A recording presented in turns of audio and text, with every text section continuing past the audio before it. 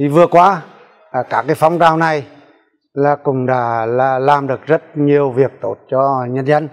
nhất là các vùng sâu vùng xa để đảm bảo an toàn cho các sinh viên tình nguyện à, nhất là những nơi vùng sâu vùng xa à, để xảy ra những trường hợp như vừa qua. Thì theo tôi từ trên trung ương trở xuống các chi đoàn cơ sở khi phát động những phong trào gì về à, thanh niên tình nguyện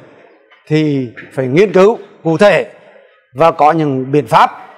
bảo vệ an toàn cho các cái đội sinh viên tình nguyện.